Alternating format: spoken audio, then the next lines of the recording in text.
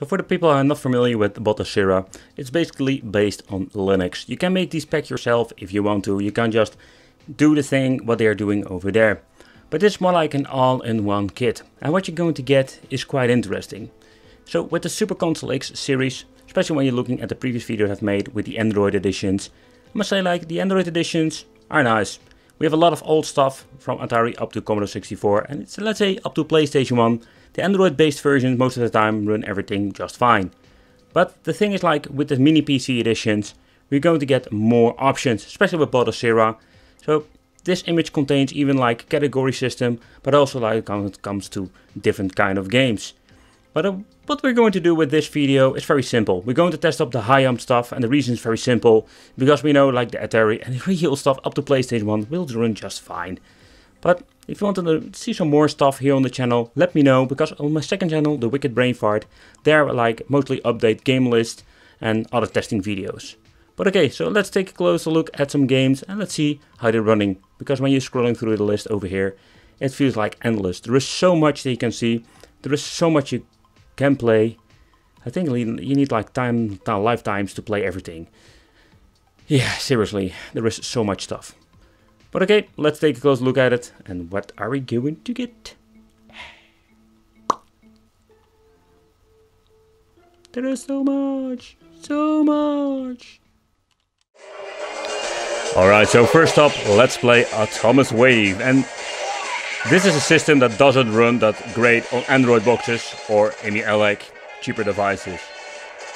When we're having like even a mini beefy system like the Chuwi you can play these games.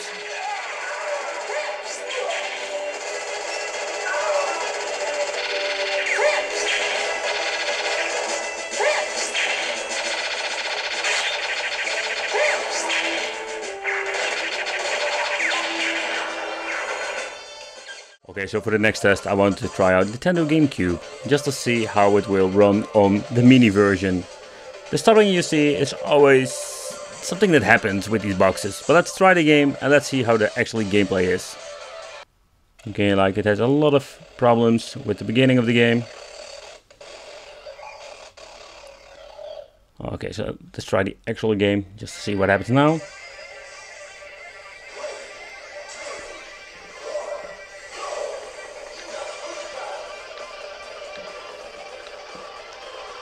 But you can hear even in the gameplay when I'm not boosting up a struggle getting F-Zero GX to run properly. That happens too when you're having like not enough power. F-Zero GX is one of the harder games to emulate. So if you're going to choose a different game that has less problems, it's highly possible that will run just fine. I played this game a lot on my original GameCube and I love this game so much and it's very demanding when it comes to emulation and so a great test.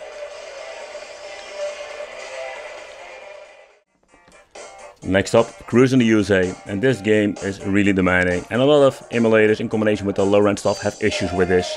Glitches, stuttering,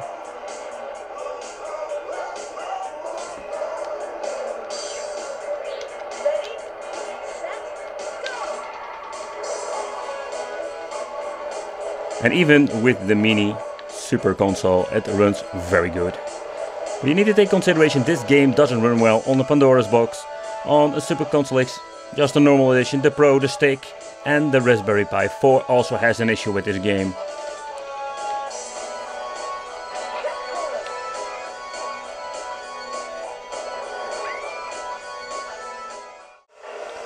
Okay, so let's go to another system, PlayStation 1. This is a system that can be played on many different devices nowadays, but still I want to include it in the testing video. So let's boot it up. Let's check the loading times. They'll be slightly longer than I again do of the USB connection. Alright, let's go. Let's buckle up. And I think I'm missing out the soundtrack, so the image they are using is not complete. But it doesn't spoil the fun.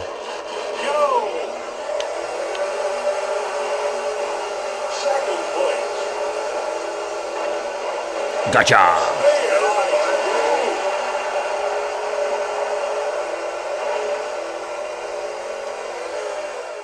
edition of the console PC family.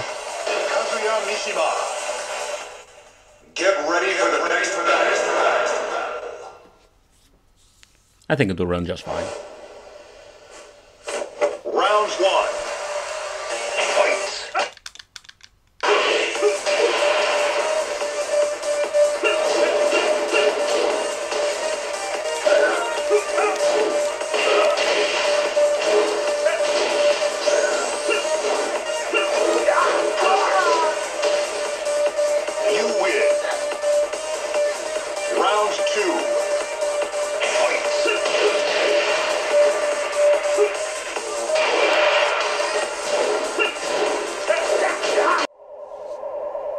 Okay, next up, PlayStation 2. So this is a system that most of the time doesn't even run on low-end devices.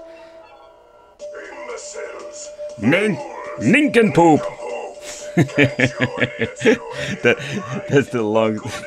That's a very long time I hear that word, nincompoops.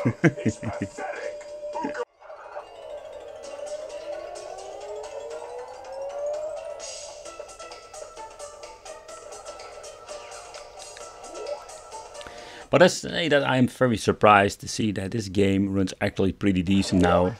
What are you looking at, fuzzhead? You're talking to me? Pfft. Look at yourself, nincompoop.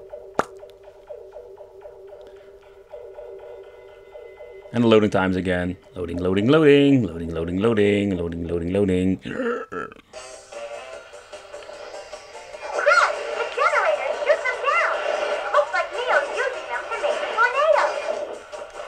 But I'm surprised that this mini version seems to be running the PlayStation 2 games very well.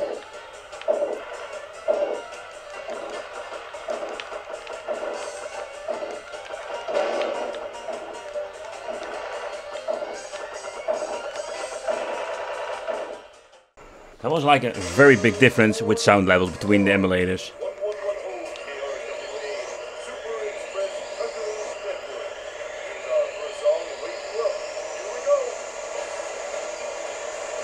But I was expecting nothing of a problem when it comes to Sega Dreamcast. Like with the EmuELEC, the Android devices, that will run Dreamcast, most games. But a mini PC like this, with some beefy specs, we're going to get no problem when it comes to this normal native resolution. I think you're going to upscale it to 4K and higher resolutions, then we're going to get issues. You just need a powerful PC for that.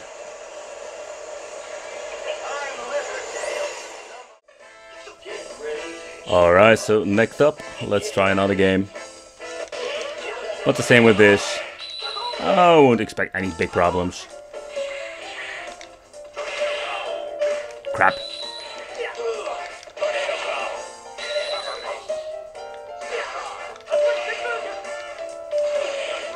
I have this idea that the controls are all messed up. Ah, there it is. So normally with this move, with a low run system, it will like struggle big time. But now, no problem at all.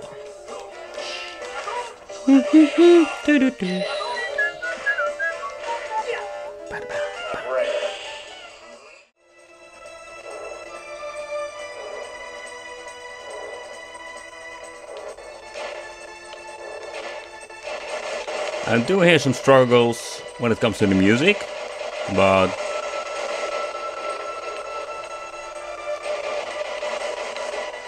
I don't see the weird glitches that I've seen before with Android boxes.